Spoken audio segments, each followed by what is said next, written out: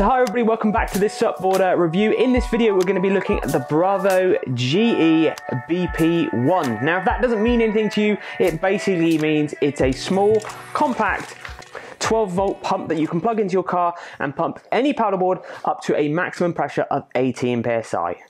Now we've been using and getting hold of Bravo manual pumps and electric pumps for quite a few years and it's fair to say that definitely they've had some really good pumps in their past, they've had some problems with some of their pumps in their past and they have really made a big improvement on their pumps in the last 12 months and this is one of their newer pumps that we're going to be reviewing We've also got a review of the GE 21.2 coming out in the next few weeks as well. So this is a 12 volt pump that you plug into your car and you have your car running when you want to inflate your board. The good thing about this is you never run out of battery power. You can pump infinite amount of boards up and this is actually quite a powerful pump as well. So it has a maximum PSI pressure it can pump in its 18 PSI. It's quite a lightweight pump at 1.94 kilograms or 4.28 pounds and this pump retails at about 130 euros to 150 euros online. It is an inflate only pump, so you cannot deflate with this pump. You do get a nice carry bag with this. You get a hard wearing heavy duty pump hose, which Bravo have always been supplying with all of their pumps, to be honest. In the middle section, you get several different types of different fittings. You can obviously plug it into other inflatable watercraft or other things. When it comes to plugging the pump onto a 12 volt source, you've got two options here. You can either plug it straight into your cigarette 12 volt power adapter inside the car or you can use the crocodile style clips to plug straight onto the battery but then you still use this adapter to plug into the 12 volt power adapter now this pump can be used on 24 volt as well. So if you are maybe a truck driver or you've got a bus or a bigger van that has 24 volt, you can use that pump as well. The other thing this pump has is an automatic cutoff that you can change to whatever level PSI pressure you want to put into your board. Obviously that's fantastic for when you're getting changed in the car park. You can plug your board in, you can pump the board up, set whatever level you want, 12, 15, 18 PSI, and then you can it'll cut off when it's ready and you can ready to get on the water. Now when it comes to how we tested this pump, now we have been testing this pump for several months because we wanted to make sure it was really working well before we reported back any information on this video. So we've used it for lots of different board sizes, but to give you an idea, and for this review, we used it on a 270 litre board, and that is a 10.6 board by 31 by about 6 inches thick. And that's probably the average size board that most of you out there have got.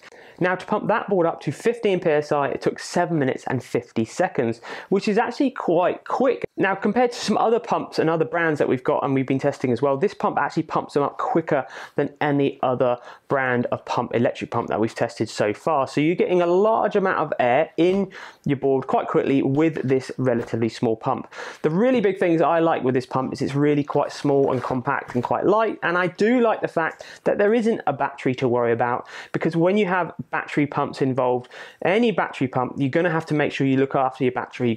You've got to make sure it's fully charged all the time, giving your battery the best lifespan and then giving you the most amount of boards you can pump up with that. With this, you haven't got to worry about that. You just have got to take it. Obviously, you have to have your car but an important thing to note is you must have your car running at the time because you will soon drain your 12 volt battery pretty quick. Also thinking about the sound levels, we did a decibel meter on this pump and it wasn't too noisy, comes at about 82 decibels. It is a little bit noisier than some other pumps on the market, but it's not actually that bad. And you can pump it and inflate it with it in the bag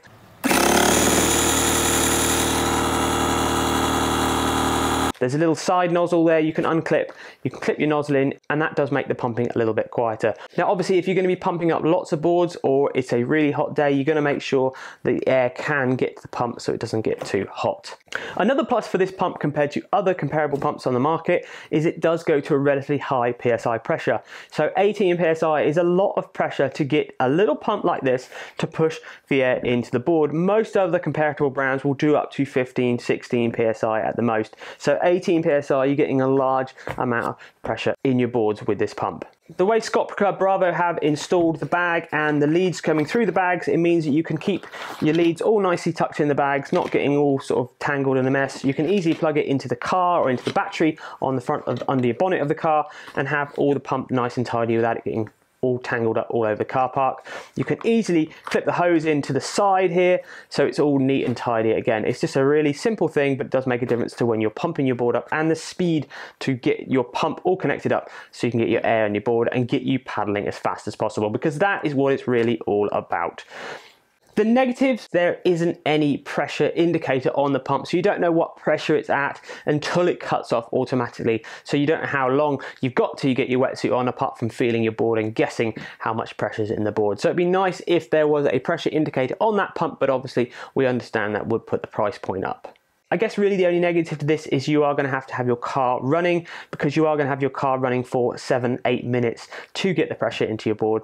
And yes, it's noisy and smelly and it's not great for the environment, but it's probably the only way to get this little pump to get the amount of power to pump your board up to the current pressure.